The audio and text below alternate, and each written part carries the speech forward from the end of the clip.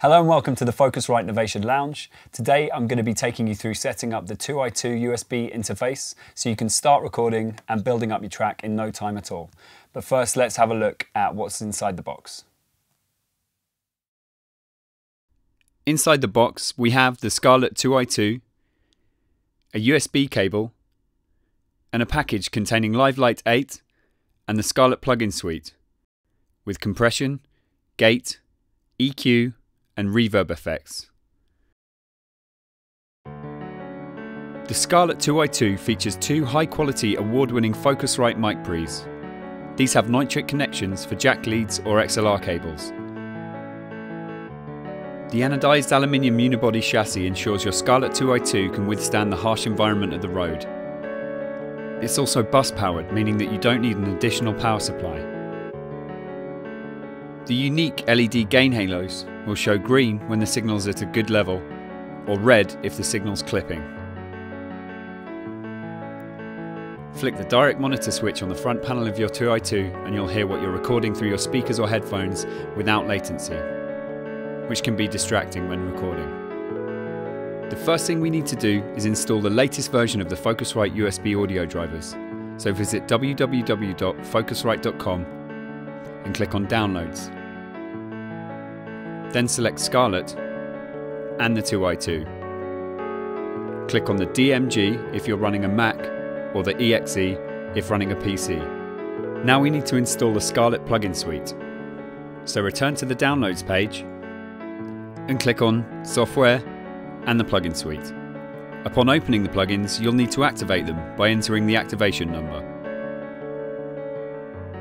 Once installed, plug in the unit directly into a USB port of your computer and connect quarter inch jack leads from the speakers and plug them directly into the outputs on the back of the 2i2.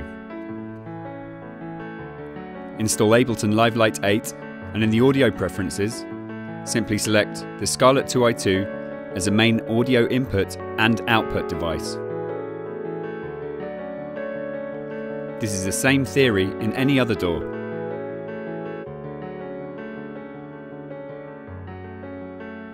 So here in live, record arm the channel and begin building up your track piece by piece. I'm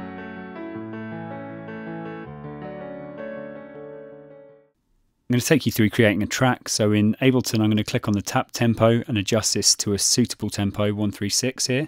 And I'm going to turn the metronome on by clicking this symbol. Then I'm going to click on the linear mode of Ableton Live. There are two modes. And I'm going to remove the MIDI track because I'm not going to use MIDI. I'm just going to create a song made out of four audio channels. Press Command and D or Control and D to duplicate channels. The bottom right hand side of the screen, I'm going to click on I.O. and I'm going to configure these to record from the first channel of the 2i2.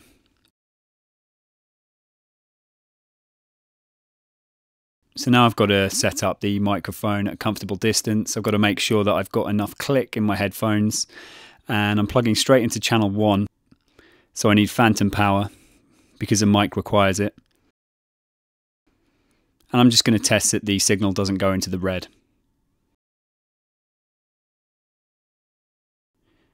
Now I need to record arm the channel. And in the transport section, simply click on play and the record function.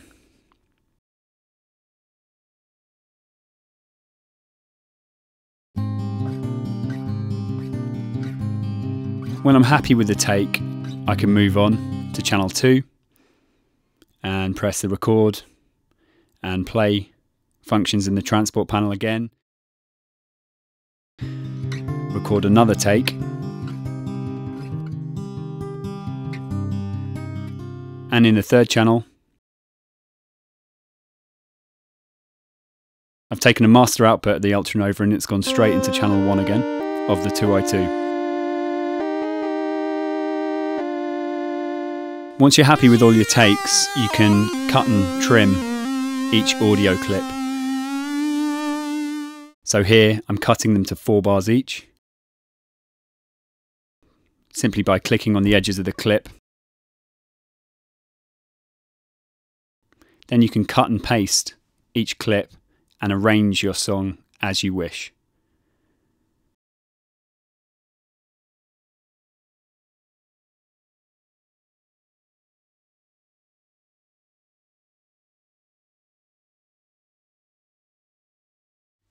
I've got a drum loop here that I'm going to drag into the session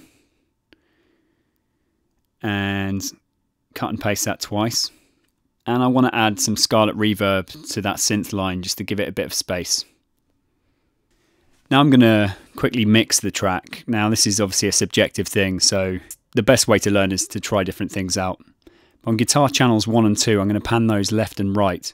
That gives the track a bit of space. And the organ I'm going to turn down in the mix a little bit, as I am with the synth line. Once I'm happy with it, I can export the audio and that's my track done.